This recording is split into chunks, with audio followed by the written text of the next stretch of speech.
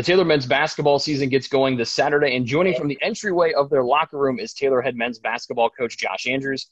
Coach, what's it like to have a full year under your belt with this beautiful new locker room for you guys to use? Uh, absolute blessing, Rick. Uh, we love it. Our guys love it. Uh, so grateful for uh, the alums and, and, friends of the program that made it happen. It, it's a special place. So I appreciate you acknowledging that. An exciting end to last season with the Mason Degenkolb game winner in the league tournament at Grace. What's it been like to get the team back together with practice here before the 2020-2021 season? Sure. Yeah, I uh, I probably speak like every coach right now. It's just awesome to know that we're going to start the season. We got our guys back together. Uh, they they worked hard, took care of business. Uh, we're mature during the, the quarantine and the time away, and uh, we think we're improved. And certainly excited to go play somebody. You guys, I mentioned you lose Mason Degenkolb to graduation. His senior backcourt mate and Ryan Robinson graduated as well not just great leaders, great basketball players as well, both two of the best scorers in Taylor men's basketball history. How do you try to replace them? Yeah, you know, it's tough. I don't know that you replace them. You have to move forward and keep advancing the program, uh, you know, based on skill sets and personnel and who you have. Those guys were so special. I love them both.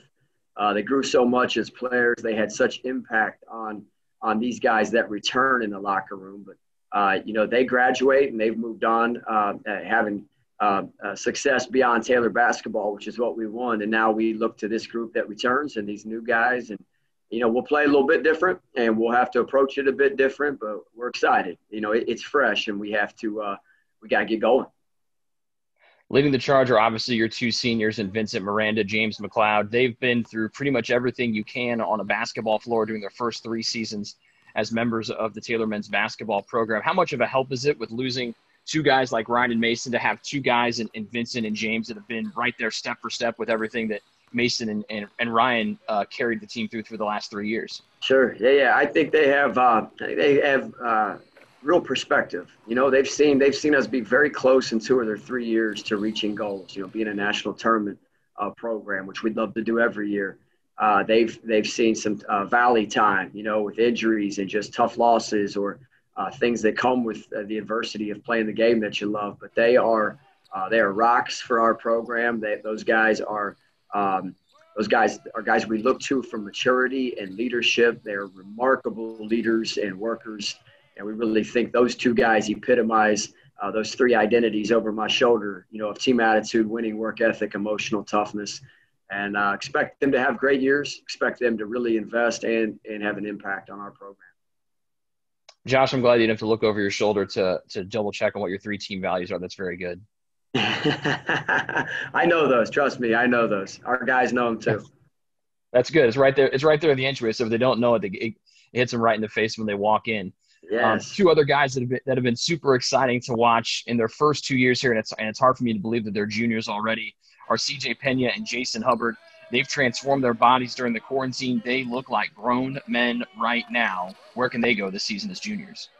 Yeah, those guys, uh, they, they're special. They're special talents, and we've known that since we've got them. Uh, they uh, continue to work. They love being in the gym, uh, care about their teammates, certainly care about their, their individual growth and progress.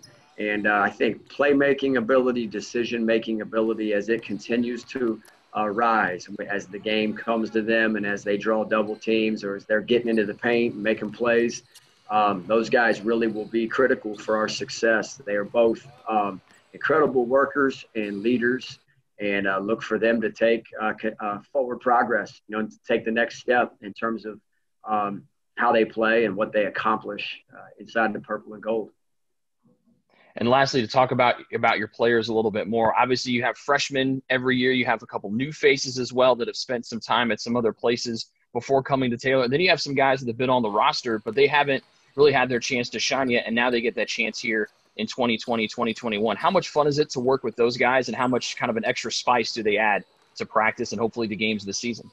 Right. No, we've had, uh, you know, you graduate two guys that eat up a lot of minutes, and there's some room. Uh, there's some flexibility. So when I say freshness, you know, it creates a, a void that you have to fill, and it, it, there's some room for guys to go grab minutes and, and uh, uh, to carve out a role. So our practices have been lively and competitive. We got great spirit about us. You know, we think all four new guys will see the floor uh, and make impact this season, and look forward to seeing um, uh, how this team takes shape. We're going to learn a lot really quick. We've got a great non-conference schedule, and and as long as everything goes as planned, we're going to play quite a few conference games before Christmas. So we will get tested, and uh, we'll know where our team is at by the time we get to Christmas. I'm very optimistic and excited about what this team is accomplishing so far. The last big thing this season, when you look at, is the the convergence of the two divisions now in the NAIA. I think you guys have an advantage because you play in the Crossroads League, which you can make the case before everything merged was the best league in the country at the NAIA level. How much does that help you as you get ready for hopefully another trip to the national tournament now with those Division One teams merging together with Division Two? Yeah, I agree with you. I hope everybody agrees that way with how talented and deep our league is, how tough it is, top to bottom. You know, our perspective in house here will be we got to win the day and we've got to do it one game at a time and we've got to take ground one game at a time and that's that we'll have blinders on to everything else if we do that uh, we think things can take care of itself i think taylor basketball is going to experience uh, real success uh, and soon and we hope this year um, but our guys are working they're fun to coach and uh, we're excited about the one division we think we're going to represent the university the athletic program and crossroads league well uh, going forward Josh, thank you so much for the time. Best of luck Saturday against Concordia and with the rest of the season as well. We'll talk. We'll talk with you about the midway point. Okay. Yeah, we look forward to it. Thanks, Rick, for the coverage. We appreciate it. That is Josh Andrews, the Taylor men's basketball head coach, joining me today to stay up to date with everything Taylor men's basketball. Just log on to TaylorTrojans.com.